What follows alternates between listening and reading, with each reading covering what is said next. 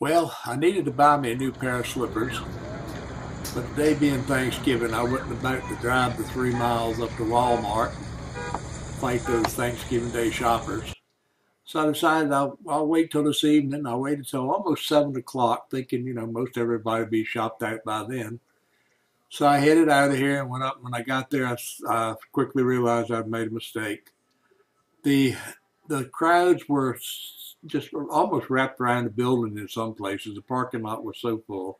Anyway, I made a short little video of it, and this is what I found when I got there.